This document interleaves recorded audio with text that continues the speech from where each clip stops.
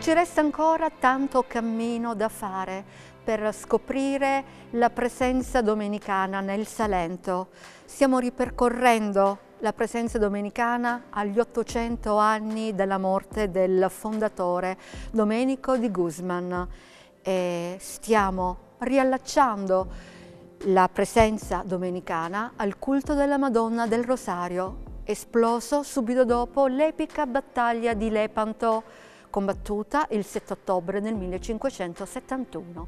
1221, morte di San Domenico, 1571, battaglia di Lepanto, 2021. Tre date che segnano emblematicamente un momento di passaggio storico e non potevamo esimerci di visitare una delle più belle, suggestive e spettacolari chiese del Salento.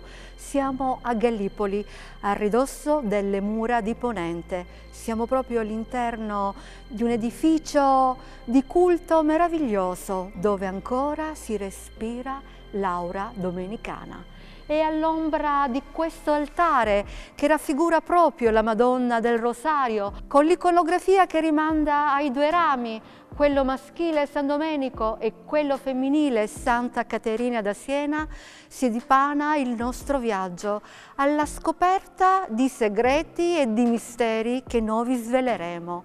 Ma in questo cammino particolare nella perla dello Ionio, ribalteremo quella che fino a oggi è stata la Vulgata, la Vulgata raccontata da tanti ma ripercorsa con una documentazione alla mano dallo storico Elio Pindinelli, vicepresidente della Società Storica di Terra d'Otranto.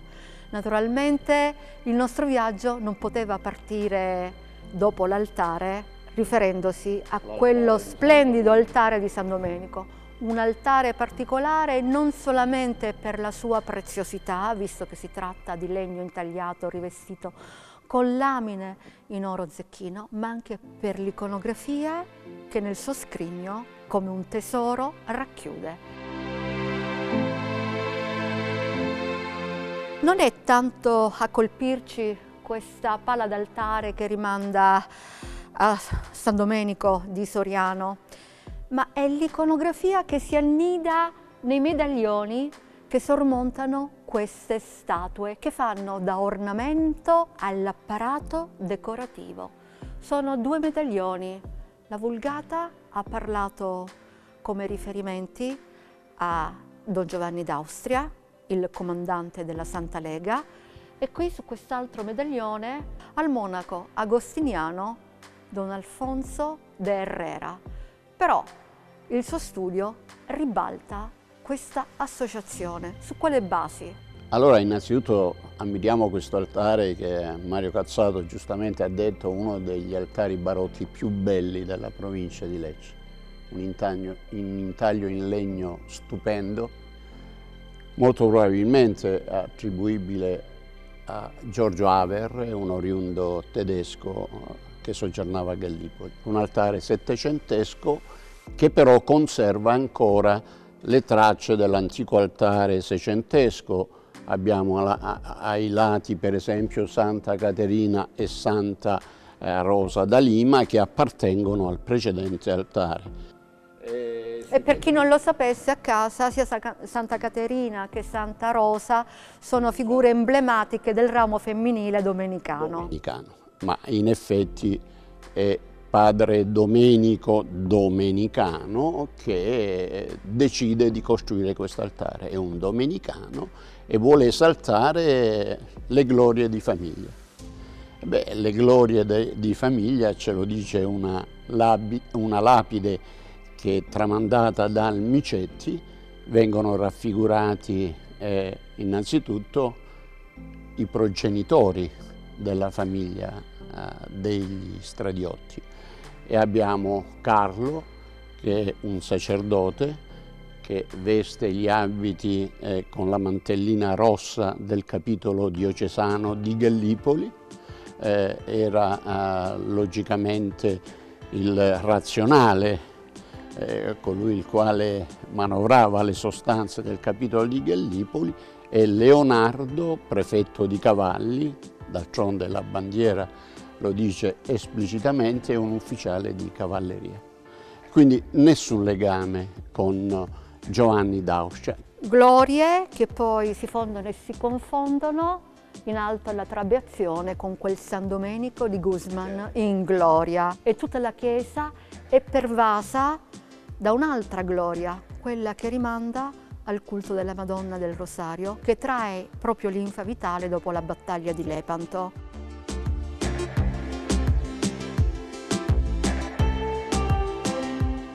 Nella sagrestia annessa alla chiesa dei Domenicani, intitolata alla Madonna del Rosario, possiamo andare a ritroso nel tempo per ripercorrere il culto in onore della Madonna del Rosario, che secondo la tradizione ha dei passaggi che ora vi racconteremo.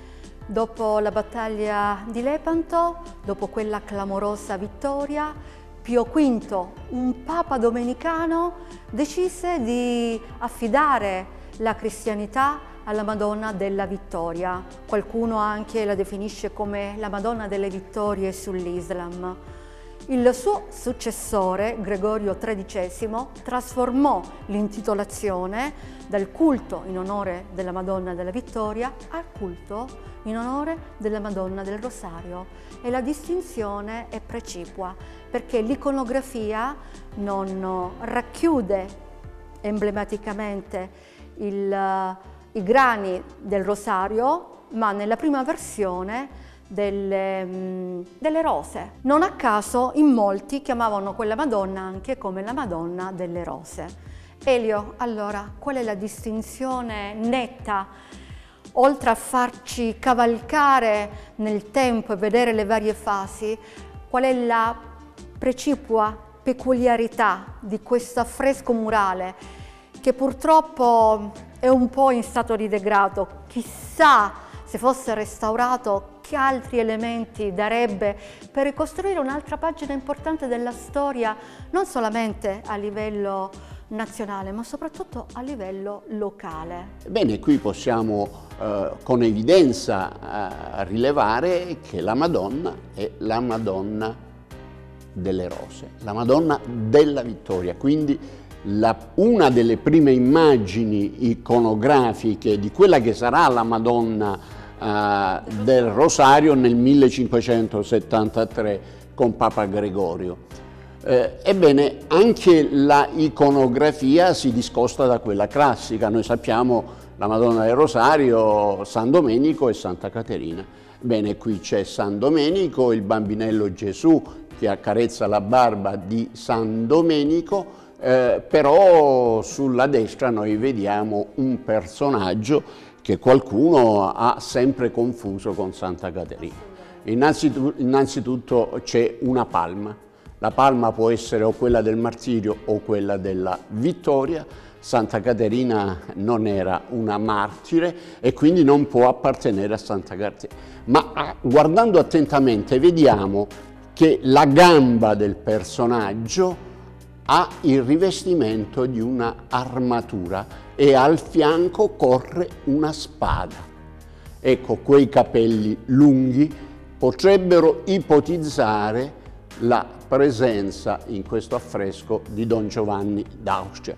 D'altronde è possibile, i domenicani vivevano di questa tradizione qui a Gallipoli anche perché Don Herrera, vescovo di Gallipoli, era stato il, eh, il cappellano militare di Don Giovanni d'Austria e quindi eh, qui sì, ecco, qui sì che può essere avvalorata la presenza di Don Giovanni d'Austria. Ricordiamo anche un passaggio fondamentale. Il monaco agostiniano Alfonso de Herrera, cappellano militare, alla morte del vescovo di Gallipoli, se non sbaglio Monsignor Cibo, per suoi meriti personali, nonostante la sua veneranda età di 70 anni, viene trasferito proprio qui, qui a supplire no? l'assenza e quindi diventa vescovo di Gallipoli in, certo, in quel periodo. Anche perché Gallipoli all'epoca era una sede appetibile, aveva molte,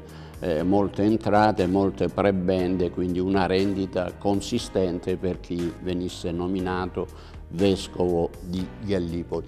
Qui poi oltretutto, essendo un sottoportico eh, di un chiostro domenicano, ecco qui si è voluto eh, magnificare la vittoria di Lepanto con questa bellissima scena della battaglia di Lepanto, ma anche sulla sinistra vediamo eh, la basilica costantiniana, quella che era prima della Basilica di San Pietro e la identifichiamo facilmente, innanzitutto con la scalinata, il, la statua di San Pietro sulla sinistra, sulla destra c'era San Paolo, le chiavi decussate e una processione che molto probabilmente potrebbe essere quella del 1572 con uh, Pio V oppure quella del 1573. Gli ambiti temporali sono quelli con la proclamazione eh, della Madonna della Vittoria, della Madonna del Rosario. Ma torniamo all'Epanto, visto che in questo percorso stiamo raccontando gli antefatti e come si è svolta questa battaglia, ma soprattutto quello che è stato fatto per dar manforte e andare a combattere in onore della croce per salvaguardare la cristianità. Fu un trionfo, no? lo vediamo dalle galee, dalle galee che combatterono contro la flotta turca. Non a caso, tornando al discorso di del monaco agostiniano Alfonso d'Herrera, lui viene mandato a Gallipoli al di là dell'appetibilità della città libera e franca, ma anche perché Gallipoli aveva dato e aveva svolto un ruolo sostanziale, strategico, fondamentale. Nella rada di Gallipoli accorsero molte navi, navi che poi salparono per andare a raggiungere la flotta che era stanziata a Messina e da lì poi partirono per andare a combattere quasi nel Golfo di Corinto, nella località uh, di Lepanto. La cosa fondamentale è che molti signorotti del posto, molti feudatari, organizzarono delle navi, organizzarono eserciti. Abbiamo visto eh, il Castromediano per Cavallino, abbiamo visto Giovanni Antonio II protonobilissimo per Muro Leccese. A Gallipoli ci furono altri personaggi che epicamente andarono a combattere in battaglia. Alcuni di questi rimasero feriti, altri morirono. Un personaggio per eccellenza fu Matteo Calò che andò proprio alla testa di una galea per andare a combattere il sultano. Quindi Lepanto ha proprio una stratificazione perlomeno nella memoria storica di questa città città che ha sempre avuto una forte ascendenza e dipendenza con la casa reale spagnola e questo può essere attestato anche da un'altra situazione presente in, questo, in questa sagrestia.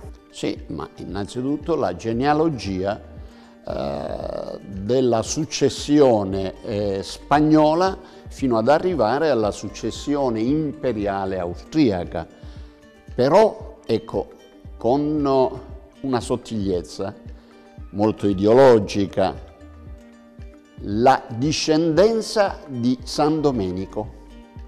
San Domenico da cui discende Pietro Nugnez, da Pietro Nugnez vi è la discendenza di Giovanna, la quale si imparenta con i discendenti della casa reale spagnola.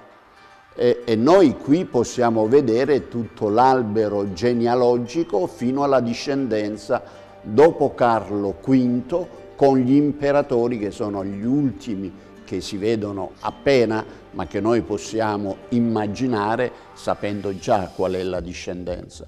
E tra l'altro con uh, l'affresco dello stemma dell'impero austriaco in alto sul soffitto di questo sottoportico che noi possiamo intravedere eh, appena eh, l'aquila bicipite e gli occhi che si vedono sulla celata dell'elmo. E questa era un'espressione araldica che poteva appartenere solo agli imperatori.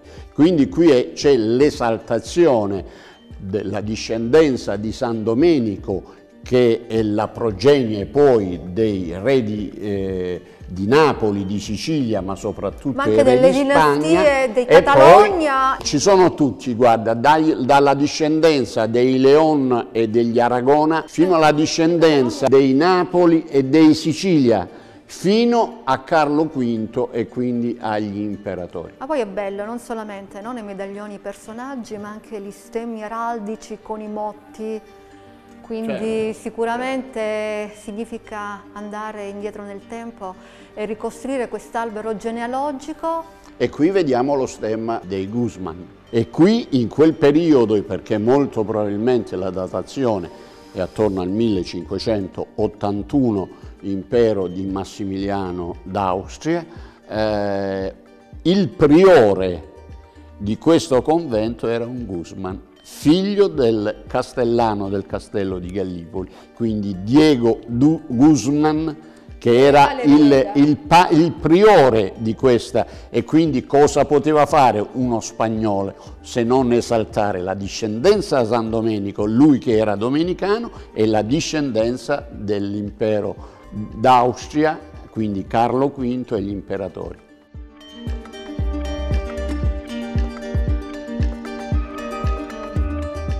Come vi avevo preannunciato, sono tanti i misteri racchiusi in questo scrigno sacro. Ne abbiamo sviscerati alcuni. Sicuramente tutti sono intimamente legati alla presenza domenicana a Gallipoli. I frati predicatori giunsero in questa terra lambita dal mare nel 1515 e presero possesso, come accadde quasi contemporaneamente in altri luoghi del Salento, dei luoghi occupati in precedenza dai monaci italo-greci. Sulle vestigia dei loro cenobi e dei loro luoghi sacri edificarono le loro chiese, chiese sontuose, spettacolari, di una bellezza rara e infinita. Radicarono in tutta la terra d'Otranto il culto in onore della Madonna del Rosario non scendendo mai il cordone ombelicale al ricordo della gloriosa battaglia di Lepanto, esaltando la preghiera e le gesta eroiche di quel Papa domenicano che tanto contribuì a far riportare la vittoria a Don Giovanni d'Austria e alla Lega Santa.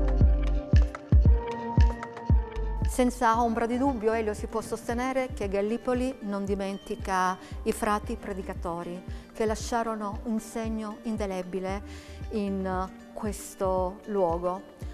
Un luogo che fu anche migliorato grazie a alle loro due vie, quella del pulpito, ossia quello della predicazione, e quello della cattedra, ossia l'insegnamento a nome e gloria del santo fondatore Domenico di Guzman.